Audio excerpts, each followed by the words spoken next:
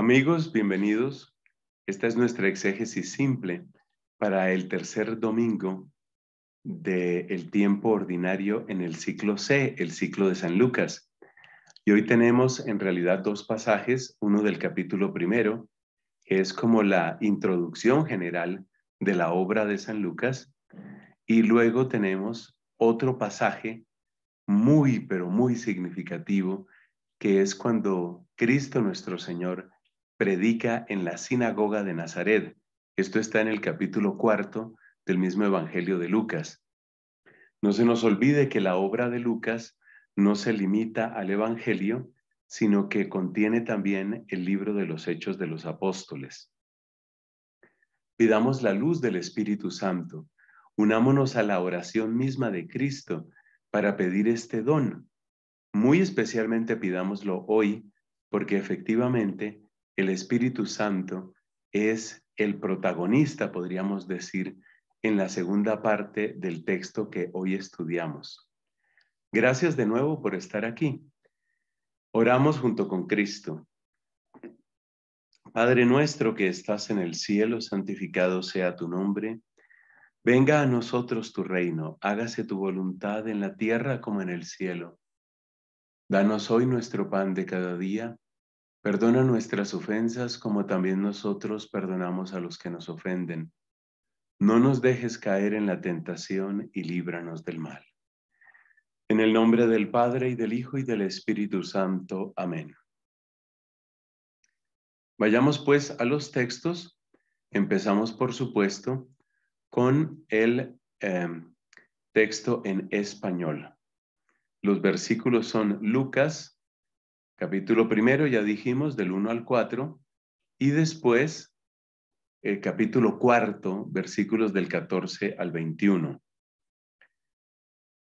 Puesto que muchos han intentado narrar ordenadamente las cosas que se han verificado entre nosotros, tal como nos las han transmitido los que desde el principio fueron testigos oculares y servidores de la palabra, He decidido yo también, después de haber investigado diligentemente todo desde los orígenes, escribírtelo por su orden, ilustre Teófilo, para que conozcas la solidez de las enseñanzas que has recibido. Jesús volvió a Galilea por la fuerza del Espíritu y su fama se extendió por toda la región.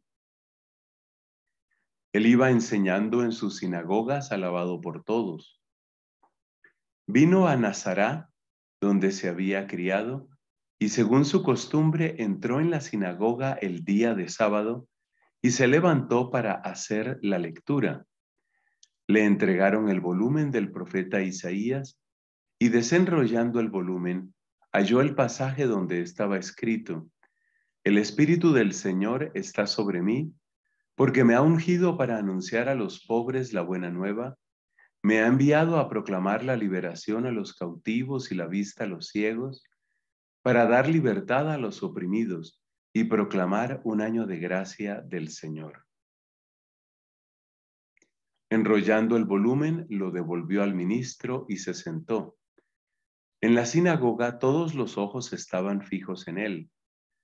Comenzó pues a decirles, esta escritura que acabáis de oír se ha cumplido hoy. Ese es el texto en español, capítulo primero, versículos del 1 al 4, y capítulo cuarto del 14 al 21, un total de 12 versículos. Hemos comentado en otras oportunidades que el vocabulario y el, el, uso de la lengua griega en San Lucas es especialmente elegante, preciso, casi podríamos decir sofisticado. Y en ese sentido, pues em, es bueno anotar que nosotros no vamos a traducir todas las palabras. repito, la riqueza semántica de Lucas es, es muy amplia. Pero sí hay términos que son bien importantes y que sobre todo nos muestran la riqueza de lo que está sucediendo.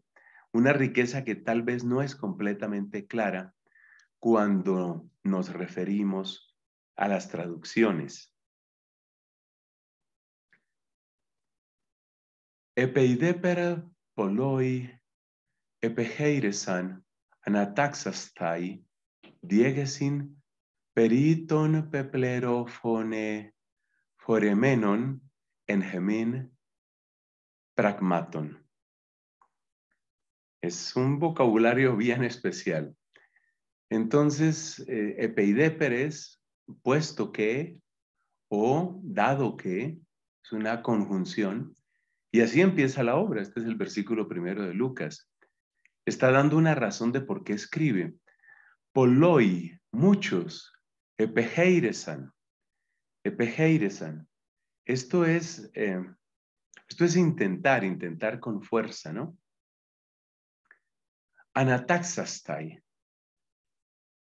Anataxastai viene del verbo tasao, anatasao, que significa ordenar. Entonces, muchos han intentado ordenar. Diegesin, esto es lo ordenado, es el complemento directo de anataxastai. Diegesin, diegesin, ¿qué es? Pues diegesis eh, significa una, una narración, un relato. Entonces, puesto que dado que muchos han intentado ordenar un relato, periton, y ahí aparece la palabra tal vez más larga que hemos estudiado en estos ejercicios de exégesis simple, peplero foremenon, pepleroforemenon. Viene de un verbo que ya de por sí es largo, pleroforeo. Pleroforeo es, em, foreo es de llevar, plero es la raíz de llenar, entonces es, llevar y llenar, es lo que, lo que se ha cumplido, lo que se ha realizado completamente. Entonces, muchos han intentado darle orden a un relato sobre lo que se ha cumplido, sobre lo cumplido, pero luego dice pragmaton. Pragmaton es los hechos, entonces, la traducción completa sería, dado que muchos han intentado darle orden a un relato sobre los hechos que se han cumplido en Gemín, que se han cumplido entre nosotros. Y eso es lo que va a intentar Lucas, es decir, darle orden a un relato que nos cuente lo que ha sucedido. Es interesante notar que pragmaton, o sea, pragma, pragma es un hecho, no es un relato. O sea, eh, el Evangelio es un relato sobre un hecho. Pero lo que quiero destacar es la palabra pragma. Se trata de cosas acontecidas, no simplemente de palabras que se cuentan, deseos que se tienen, inspiraciones, eh, aspiraciones, no, son hechos. Pragma, pragmatos. Siempre pragma significa hecho. De ahí viene la persona pragmática. Una persona pragmática, ¿qué es? Pues es la persona que se limita, que se concreta a los hechos.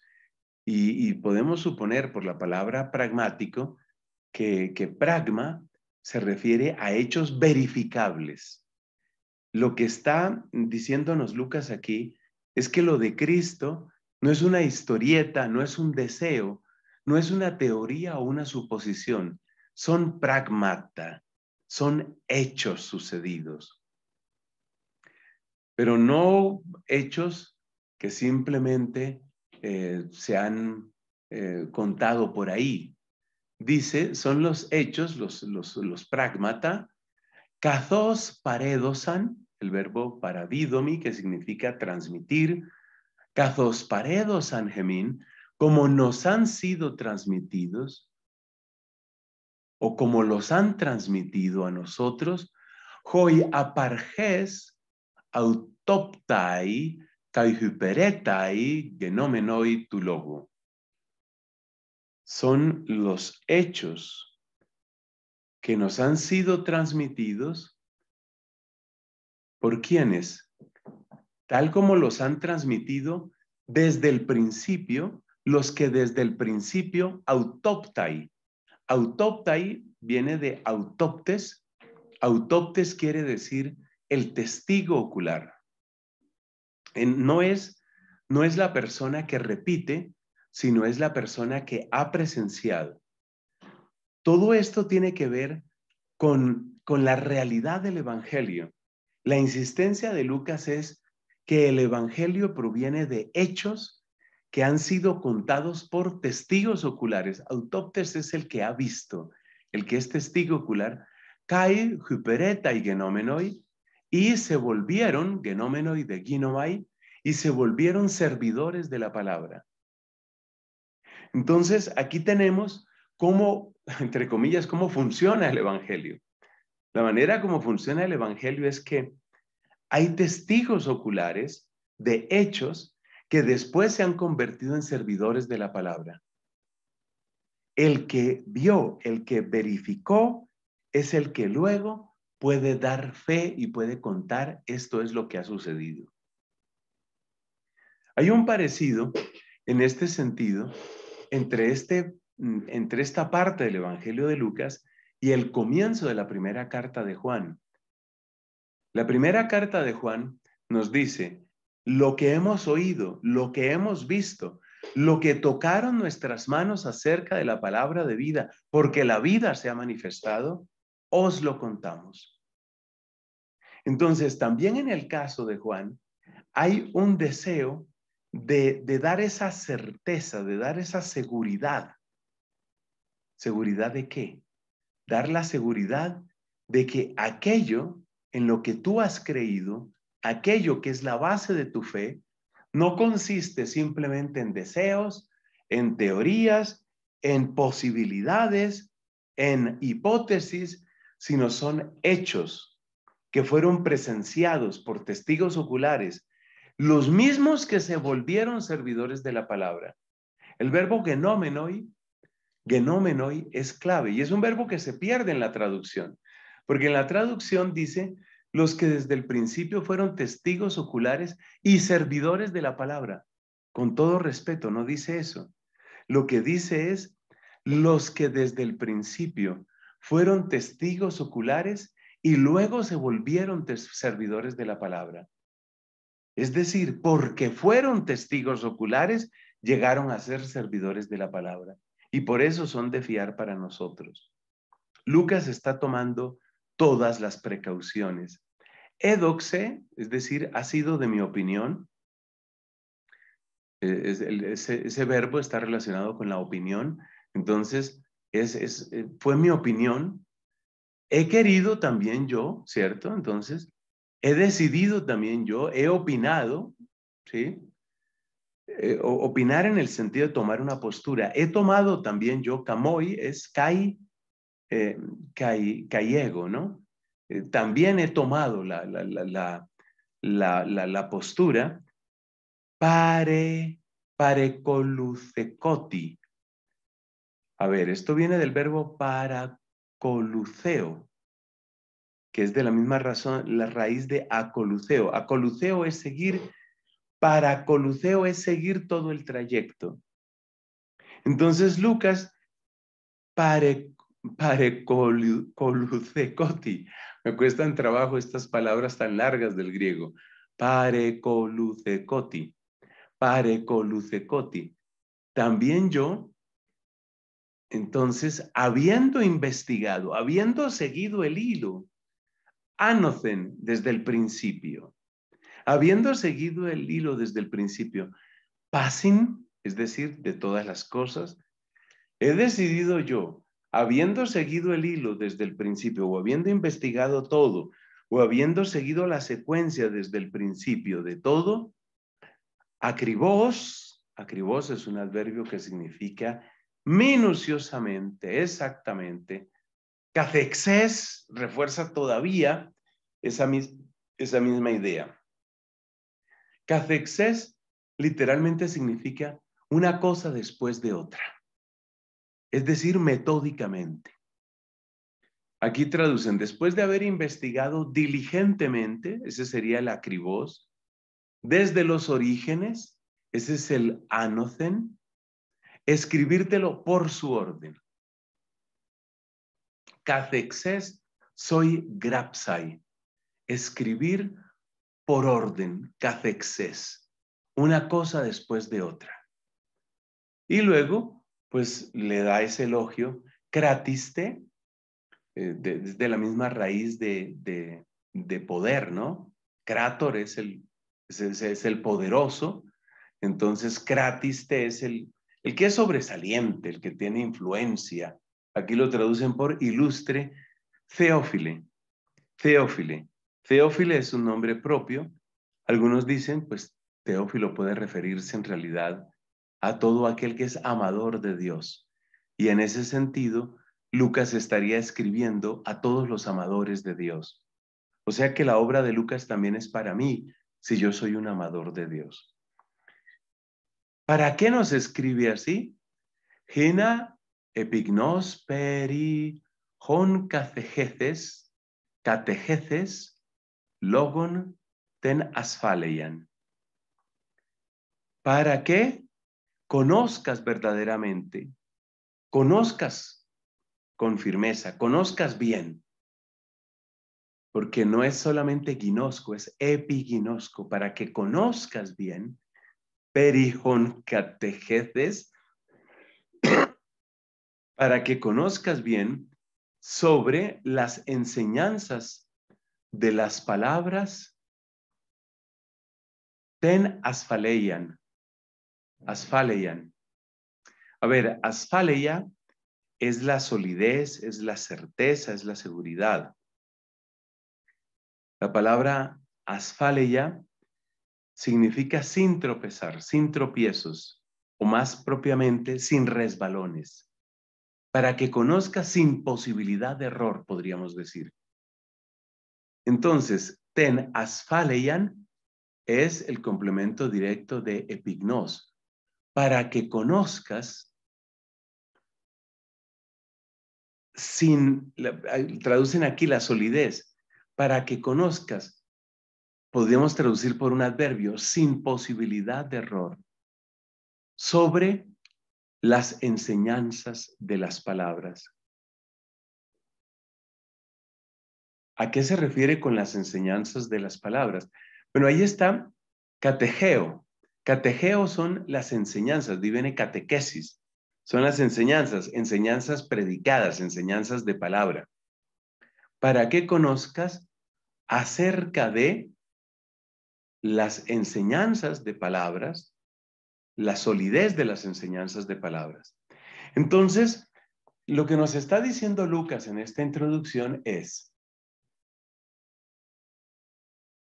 en primer lugar, que vamos a hablar de hechos, pragmata. Esos hechos, ¿cómo han llegado a nosotros? A través de testigos oculares que se volvieron servidores de la palabra. Lucas ha hecho la secuencia, ha investigado todo desde el principio, ha hecho todo el recorrido para que nosotros conozcamos sin resbalones, sin posibilidad de error, la solidez de las catequesis, la solidez de la palabra que nosotros hemos recibido.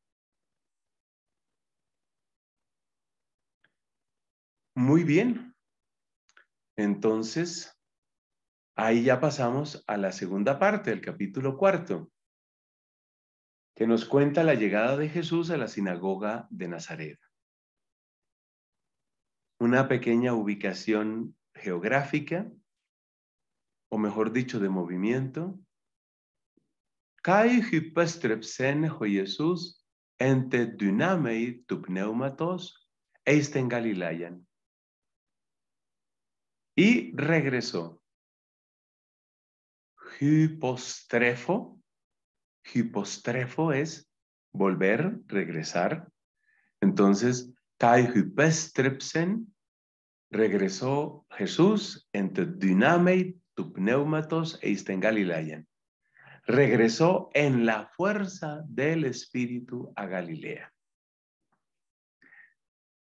Kai feme excelten cajoles tesperijoru periautu. Y la noticia, periautu, la noticia de él, hubo informes sobre él, el informe sobre él, excelten catjoles tesperijoru. Y la noticia o el conocimiento de él, aquí traducen la fama, su fama, y el conocimiento de él o la noticia sobre él, excelten, salió. Literalmente salió a toda la región en torno.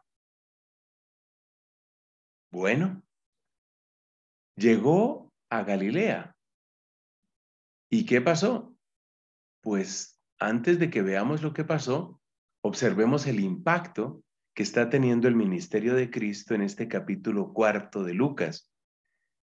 Edidas que sinagogais auton hipopanton. Y él enseñaba, pretérito imperfecto de didasco, cayautos edidas que y él enseñaba en tai sinagogais, en las sinagogas autón. Enseñaba en las sinagogas de ellos, es decir, enseñaba en las sinagogas de toda esa región. Una cosa notable es pensar que Galilea, pues evidentemente, no era una región muy acomodada, había tanta gente pobre, tanta gente necesitada, pero había una multitud de lugares de reunión para el culto, las sinagogas. Cayautos edidasken en y enseñaba en las sinagogas de ellos, en sus sinagogas. Doxatzómenos hipopanton, siendo alabado, literalmente siendo glorificado siendo glorificado por todos, hipopanton. Entonces es una fama positiva, es, es el impacto de, de una obra nueva, una obra de bondad que está llegando a los corazones de muchos. Y vuelve a su ciudad, Kai Elzen, y fue Eisnatzara. Siempre destacamos con ese color verde intenso, los lugares, los nombres propios de la cultura del tiempo de Jesús. Y fue a Nazaret. Hu en menos. Trefo, que es el verbo que está detrás de tetramenos, tetramenos es un participio pasivo. Trefo es alimentar. Entonces, donde se había alimentado, donde se había alimentado. Obviamente eh, es una especie de figura, em, una figura de, lenguaje para referirse a donde había crecido. La persona se alimenta, pues ahí donde se alimenta, pues, pues crece, ¿no? Y aquí traduce muy bien donde se había criado. Kayel Natzara en tethra, menos, selten katato eizos auto, en tejemeraton sabaton eisten sinagogen. Entonces, primero se nos describió la región de entorno, luego que llegó a Nazaret, luego que entra Eiselten, catato eizos auto, Eizos no, eiozos, eiozos, perdón. Callaiselten catato eiozos auto. Eioza es una de las maneras de decir el, la costumbre. Catato eiozos auto significa según la costumbre. Cristo pues nos aparece aquí como, como un auténtico judío que practica lo que hacen los judíos va a la sinagoga, escucha la palabra y en el caso de hoy, pues va a explicarla. Entonces, dos viene de eyoza, que significa según la, costumbre, katato dos auto, en tejemeraton sabaton, en el día sábado, eisten sinagogen. Entonces, y fue a Nazaret, donde había crecido, donde se había criado, y entró, según su costumbre, en el día sábado en la sinagoga, kai aneste anagnonai. Y se levantó y luego viene un verbo en infinitivo, anagnonai. Este, esto me llama la atención, es como una especie de curiosidad porque dicen, Cayaneste y se levantó, eh, eh, aneste viene de anistemi, anistemi. Es el mismo verbo que se utiliza para la resurrección. Christos aneste, Cristo se levantó. Ese es el mismo verbo. En, en, griego para decir que, se, que, resucitó es, es eso, ¿no? Se levantó, se levantó. En inglés conservan esa, esa expresión, the Lord is risen, se, ha levantado el, el, Señor, ¿no? Entonces, aquí es lo mismo, es el verbo anistemi, se levantó.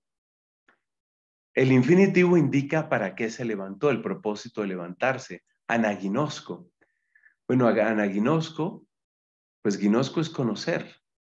Anaginosco es conocer muy bien, conocer muy bien.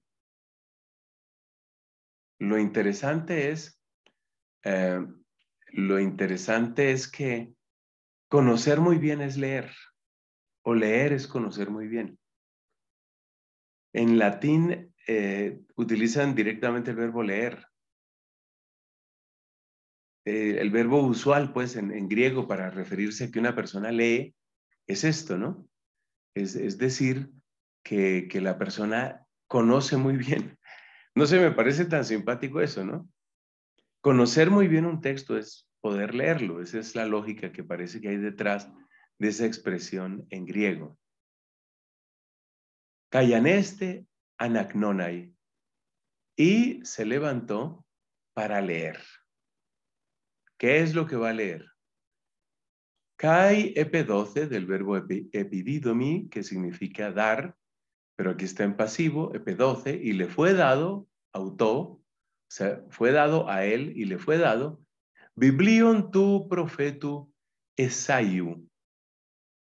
Entonces, y le fue dado el, el rollo, biblion es, es el rollo, el volumen, en aquella época, pues nosotros decimos el libro, ¿no?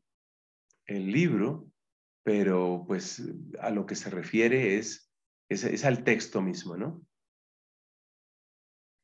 En latín traducen el liber. Hay que tener en cuenta que liber en latín también se refiere muchas veces a textos que están dados en forma de rollo. Entonces, le dieron el rollo tu profetu esaiu del profeta Isaías. Kai anaptixas, anaptixas del verbo anaptizo. Anaptizo significa desplegar o desenrollar en este caso.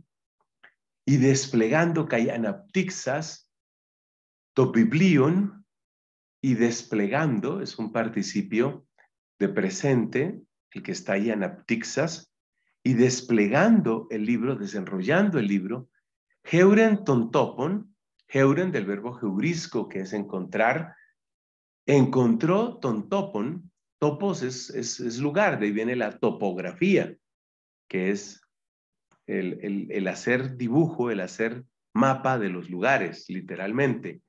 La topología, aquella área de la matemática que estudia el concepto de lugar del modo más general posible. Esa es la topología. Heuren tontopon hu en gegramenon, el lugar donde estaba escrito. Y aquí está el centro del mensaje de hoy. Neuma curiu epeme, el espíritu del Señor sobre mí. Spiritus Domini super me traduce el latín el Espíritu del Señor sobre mí. Ejrisenme evangelizastai. Egrisen. Para introducir una explicación. Egrisen está indicando la razón por la que Él ha sido ungido. Entonces, se trata de eh, se trata de porque me, me ha ungido, ¿sí? Eineken ej ejrisenme evangelizastai.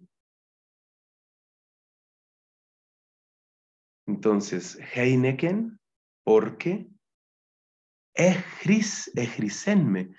Fíjate que se alcanza a reconocer la raíz de crisma, ejrisenme. Cristo viene de ese mismo verbo. Christos quiere decir el que ha sido ungido. El verbo, el verbo ungir es, es. Ejrisenme por, entonces, Heineken, porque ejrisenme, porque me ha ungido, y nuevamente verbo en infinitivo que indica el propósito de una acción a modo de complemento directo.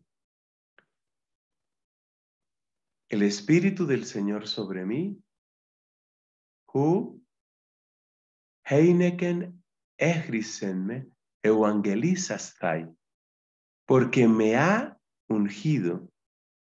Evangelizastai tohois. Tojois, tojos es pobre, para evangelizar a los pobres. En otra ocasión ya comentábamos que tojos, o sea, pobre, viene de una raíz que indica el que ha sido doblegado, doblegado por la injusticia, doblegado por las necesidades, doblegado por la tristeza, es el doblegado. Porque me ha enviado, porque me ha ungido para anunciar la buena nueva. Evangelion. Eu significa bueno, Angelion, pues es el mensaje, es el buen mensaje, la buena nueva. me ha enviado porque me ha ungido, repito, el verbo es egrisen, me ha ungido para evangelizar a los pobres. Literalmente lo que dice es eso. Todo el propósito de la unción que ha recibido Cristo es para dar buenas noticias a los pobres. Y todo lo que nosotros hemos recibido como cristianos, es decir, la unción que hemos recibido, es para dar la buena noticia a los pobres. De hecho, el tema de los pobres y el lugar de los pobres es algo muy querido para Lucas. Es uno de los énfasis que él tiene así como enfatiza también en la gracia del Espíritu Santo, como enfatiza en la alegría, como enfatiza en el papel de la mujer. Este, estos son algunos de los énfasis que tiene San Lucas. Volvamos a nuestro texto. Entonces, Neuma curiu epeme hu heineken echrisenme evangelizas tai tojois. Me ha ungido para dar la buena noticia a los pobres. Apestalkenme görixai. E, ese es muy bello porque apestalken es del verbo apostello. Apostelo es enviar. Y vamos a ver que en este pasaje el envío es doble. Es el envío de Cristo y luego es el envío de los liberados por Cristo. El verbo apostelo aparece dos veces. A ver si logramos aquí poner exactamente el, versículo completo. Ahí está el versículo completo. Entonces, me ha ungido para dar buena noticia a los pobres. Luego, hay otros que son los aigmalotos. Apestalkenme, körixai, aigmalotois, aigmalotois, afesin.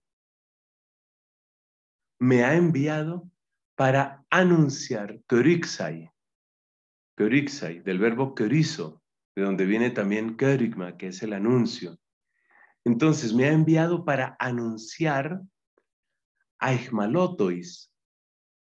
¿Quiénes son los aigmalotos.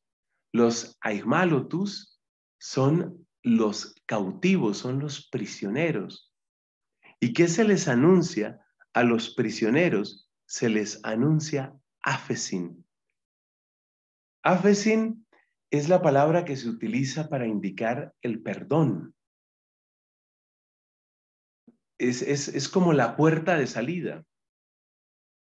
En el Padre Nuestro decimos que hay afes, gemín, taofeilema, tajemón. Es como dejar ir, dejar ir.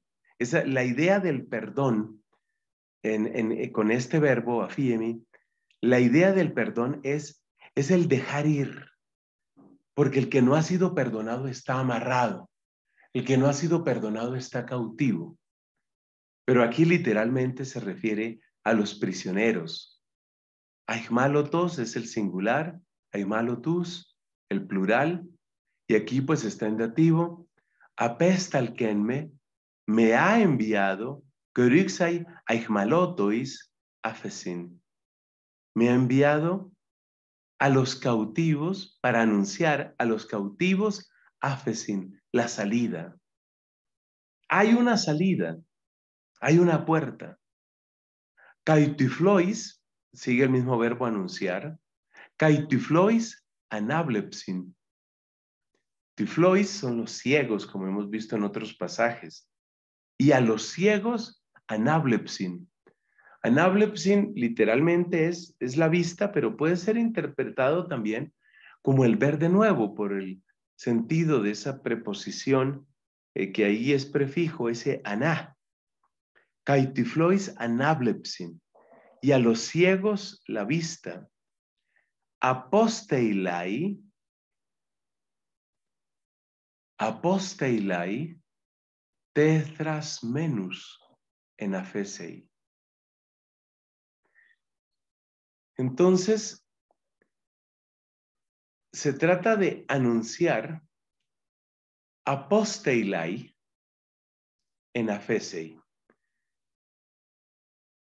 ¿Qué es? ¿Qué es? Eso no es tan fácil de traducir. Es un verbo que está también en infinitivo. Entonces, el Espíritu del Señor está sobre mí, me ha ungido y vamos a fijarnos en los verbos en infinitivo. El primero es este, evangelizastai.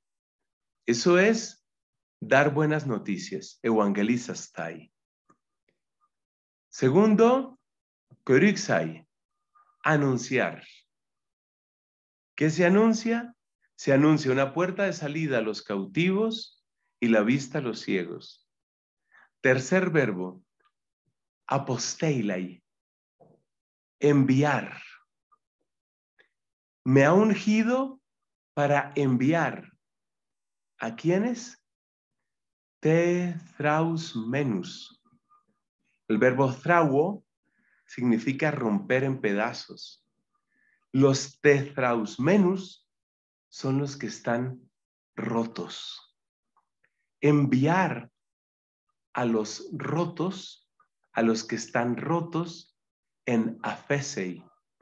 En afesei pues es en libertad, en, en, salida, literalmente es en salida, pero aquí se trata, eh, aquí se trata claramente de la libertad.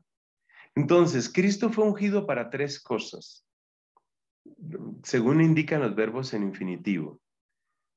Para dar buenas noticias a los pobres, número uno, dar buenas noticias. Segundo, para anunciar la salida a los cautivos, la vista a los ciegos. Entonces, dar buena noticia, anunciar. Y tercero, para enviar a los que están rotos, a los que han sido machacados, enviarlos en libertad. Observemos que el verbo que Cristo aplica sobre sí mismo,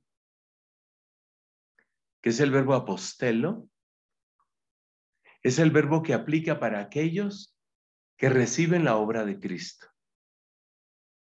Es decir, Él es el enviado y a los que Él llega son los enviados. Nosotros somos sanados y somos sanados para sanar.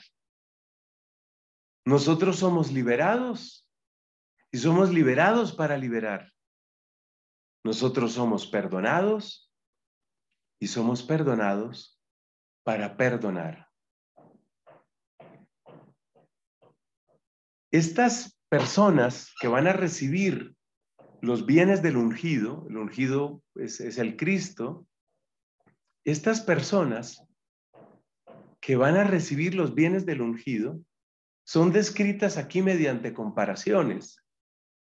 Se les llama los pobres, los prisioneros, los ciegos, los rotos. O tal vez podríamos decir con un verbo muy elocuente en castellano, los machacados. Esas expresiones esas expresiones nos están describiendo de un modo gráfico la condición de la humanidad antes de Cristo, la condición del que no conoce a Cristo. Aunque parezca rico, es pobre. Aunque se jacte incluso de su libertad, es un prisionero. Aunque crea que conoce mucho, es un ciego. Y aunque se muestre fuerte, está roto por dentro. De modo que este solo versículo, Lucas 4:18, a la vez nos presenta el camino de Cristo, el servicio de la iglesia y el estado del mundo. El estado del mundo es ese se cree rico pero es pobre, se cree libre, incluso libertino, yo hago lo que se me dé la gana, pero está prisionero, se cree sabio, pero en realidad está ciego, se cree fuerte, pero está roto por dentro. Y esto se sigue cumpliendo en nuestro tiempo Claro que sí. La gente se cree fuerte y se muestra fuerte y se muestra feliz. Y mientras tanto las cifras de suicidios van creciendo. Los dramas de depresión y de ansiedad van creciendo.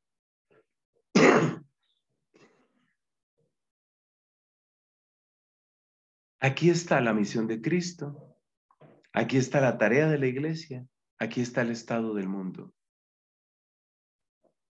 Y por si fuera poco, aquí está también lo que nos toca a nosotros. Él es el enviado y nosotros somos enviados, enviados en libertad, en afesei. Sanados para sanar, perdonados para perdonar.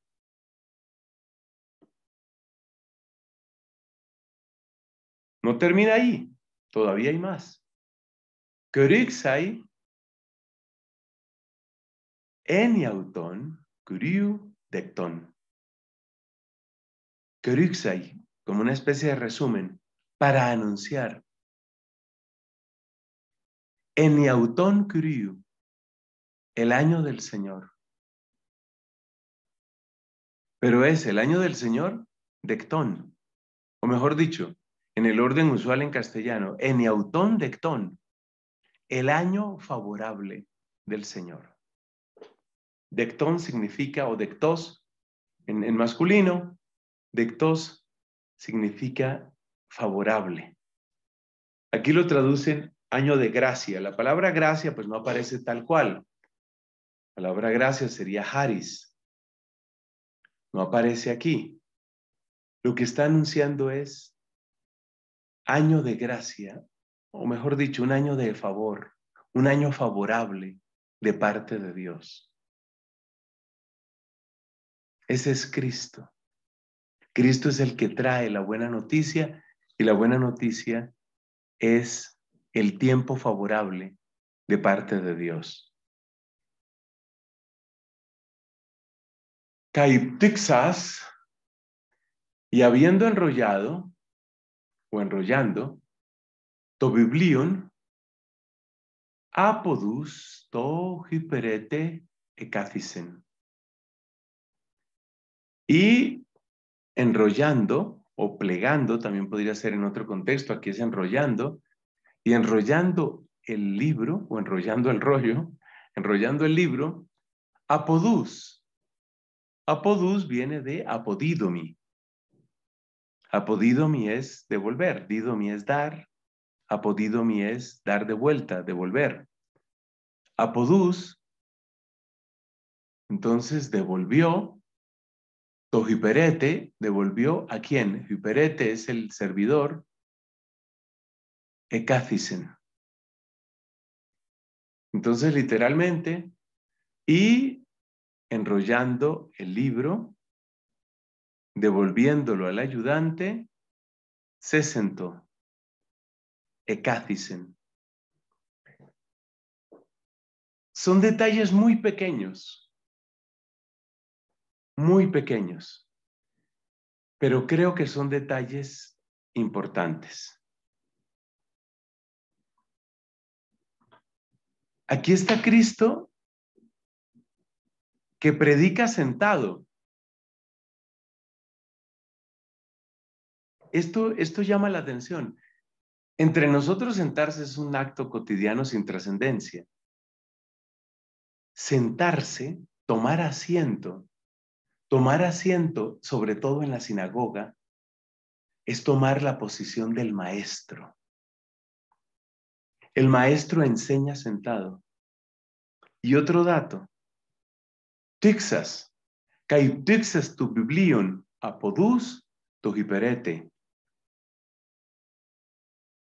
Enrolló el libro y lo devolvió.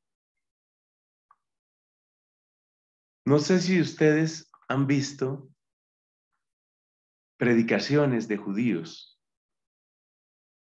Usted se da cuenta que el judío, cuando predica, típicamente cuando predica, mantiene el rollo abierto y además está de pie. De hecho, ellos utilizan un pequeño utensilio, un pequeño utensilio, como una hoja metálica, para ir siguiendo estrictamente la lectura y para no perderse en cuál es el punto donde están em, haciendo su comentario. No se apartan de ahí. ¿No te llama la atención que Jesús, que está siguiendo de la práctica judía, devuelve el rollo? Te repito, es algo pequeño, pero ¿no te llama la atención? ¿Qué podemos pensar de eso sino solamente una cosa? Es que la palabra es Él. Entonces, el hecho de que se siente ecácisen, ecácisen, está indicando esa posición del maestro y de autoridad. Pero la posición del maestro no se apoya en el rollo, sino que se apoya como sobre sí mismo, porque él mismo es la palabra. El acto tenía que ser un poco extraño para aquella gente panton hoi oftalmoi y todos los ojos en te sinagoge esan atenitson tesautó. Y todos los ojos en la sinagoga estaban mirándolo fijamente. Estaban mirándolo fijamente. El judío piadoso mira fijamente el rollo. Mira fijamente, por ejemplo, la Torá, y desde ahí predica. Y el que le escucha mira el texto. Ahora los ojos están sobre Cristo y Cristo ha devuelto el rollo al ayudante. Entonces, ¿qué ha sucedido aquí? Es Cristo el Maestro es Cristo la palabra. de Legein comenzó a decir prosautus a ellos comenzó a decir a ellos, Joti, a decir que Semeron, peplero taige grafe haute, entois osin humon. Comenzó a decirles, hoy, peplero tai. Plero significa llenar, cumplir. Semeron es hoy. Semeron, peplero taige grafe haute, entois osin humon. Hoy se cumple, hoy, se, hoy llega a su cumplimiento, Gegrafé Jaute, esta escritura, en tois osin humon, literalmente en vuestros oídos, en vuestros oídos. En ese sentido, no nos gusta del todo la escritura que acabáis de oír. En tois osin humon, pues parece un complemento circunstancial de peplerotai. Peplerotai. Se ha cumplido. Hoy se ha cumplido en vuestros oídos esta escritura. Eso es lo que dice realmente. Si se dice aquí la escritura que acabáis de oír, pues realmente ese que, o sea, ese pronombre relativo no aparece en el griego. Gegrafé jaute entois osium gimón en vuestros oídos se ha cumplido. Ese es el versículo 21. Qué bien traduce el latín. Mira, Chepit autem dicere ad illos. Empezó a decirles a ellos, odie hoy, impleta est ex. Hoy se ha cumplido esta escritura in auribus vestris. No es la escritura que acabáis de oír. No es que se cumplió esta escritura, sino que se cumple al escucharla vosotros. Es el paso mismo, esto es demasiado bello, es el paso mismo de la palabra soportada por rollos a la palabra hecha carne que se cumple, que se hace realidad cuando nosotros la escuchamos. Esa es la buena noticia. Esa es la libertad que trae el Hijo de Dios. Ese es el poder de la unción del Espíritu. Gloria al Padre y al Hijo y al Espíritu Santo, como era en el principio, ahora y siempre, por los siglos de los siglos. Amén.